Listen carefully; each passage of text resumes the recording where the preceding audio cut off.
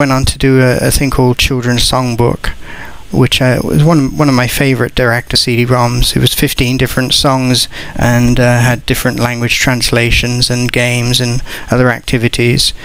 And then later I did a thing called Painter's Painting, which was one of my less favorite director CD-ROMs. Not not that there's anything wrong with it, but it uh, it was not that interesting uh, as a as a program.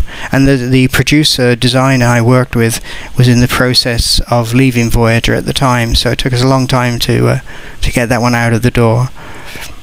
There we go. So that's um, gives you some of the sense of, of the things I did at least up until about um, 12 years ago.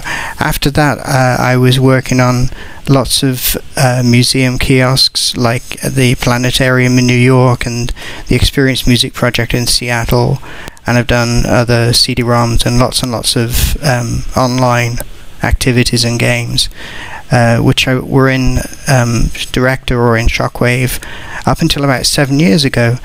Now, at that time, my colleagues were all doing Flash, which, of course, because I did Director, I hated Flash.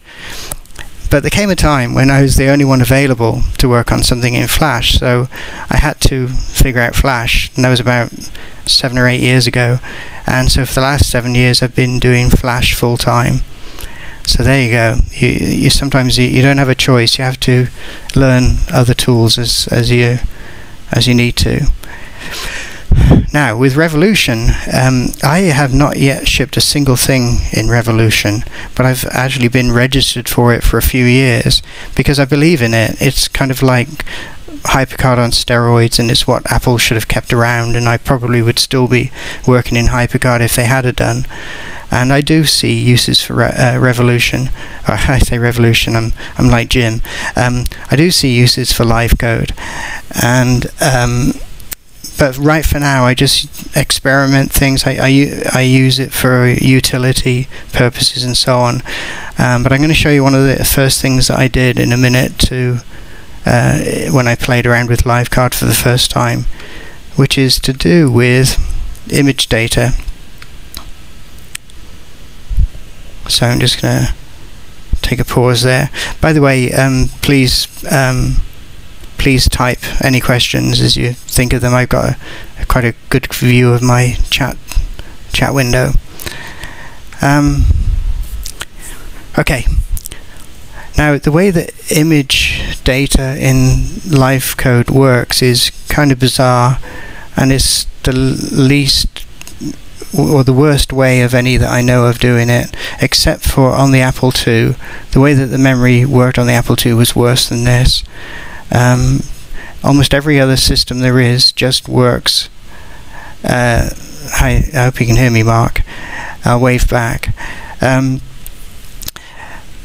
almost every other tool works with x and y coordinates, and you just get some image data and you say what's the pixel at this x and that y.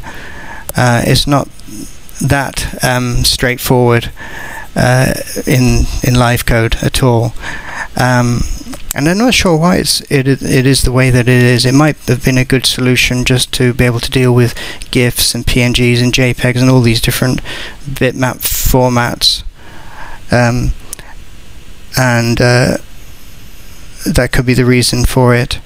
Um, can so anybody else just tell Mark that they have sound?